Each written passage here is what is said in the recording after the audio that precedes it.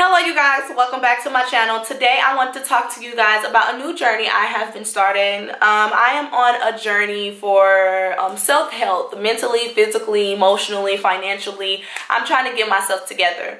So at the beginning of the year, I started exercising five days a week um, since January and two weeks ago I included Apetamin. I want to gain weight, but I don't want to gain weight just in my ass. I want it over my whole entire body. I want to fill out my clothes a little better. My starting weight was 116 and I am now 122 pounds um, just with the two week span. The first week is when I gained the most. I was 121 and this week I'm 122. I feel like because my body have um, was not used to the intake of vitamins that I was taking from the Apetamin and I was eating like crazy.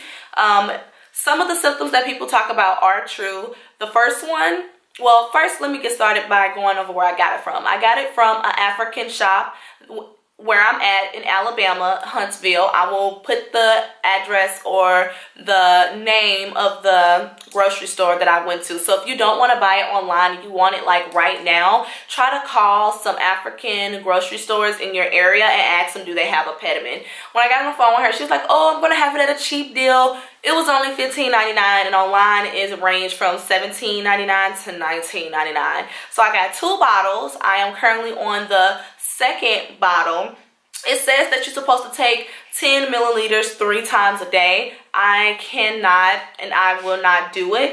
Um, I can only take 10 milliliters in the morning and at night.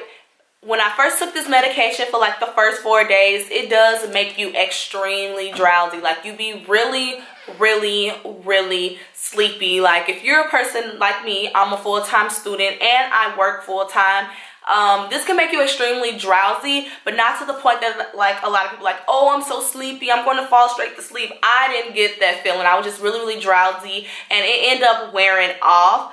But um, yeah, it does make you really, really drowsy. It does make you really bloated. Like my stomach was like fat and I like had gas and stuff. I don't know why, but for the first couple of weeks, my stomach was bloated and I had a lot of gas. I don't know where that came from, but yeah i did experience bloating in the stomach but that went away. And now i'm not gassy or i'm not drowsy when i take it or anything like that. But in the beginning yes you do have some side effects. When i first got the bottle um, it does come about this full to like right here. So don't think when you get the whole entire bottle the whole entire thing is going to be full just for this um, amount. When you drink it it tastes like and citrus orange scene cough syrup, but it's not, I don't know, it doesn't bother me. It just tastes like a citrusy, orangey taste. But it's not like, oh my God, it's so disgusting. It just tastes like cough syrup. If you know what cough syrup tastes like, that's just what it tastes like. Um, also, to help me gain weight, I have been taking the the Serious Mass High Protein Weight Gaining Powder. Two scoops of this is 1,250 calories. Now, I'm a, I have a fast metabolism and the Apetamin slows down your metabolism. So I eat in the morning, I eat at night, and I drink the shake in the evening. Um, I am not a person, sometimes I end up skipping meals because how busy my schedule is. So if I know I'm going to be skipping a meal, I only drink one um, scoop, which is about 625 calories and probably eat two granola bars with that. That's hitting 800.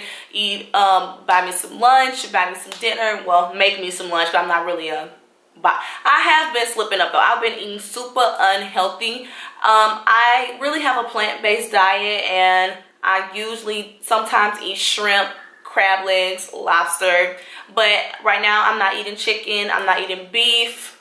Um, not eating pork and I really want to keep it up like that and eventually stop eating seafood but I absolutely adore seafood. So I do try to eat it sparingly. I don't try to eat it all the time. So I, once a week I will try to eat um, have incorporate seafood into my diet if I can do it once a week. But um yeah but I've really been slipping up. I really have an addiction to egg McMuffins from McDonald's with two hash browns and a medium orange juice.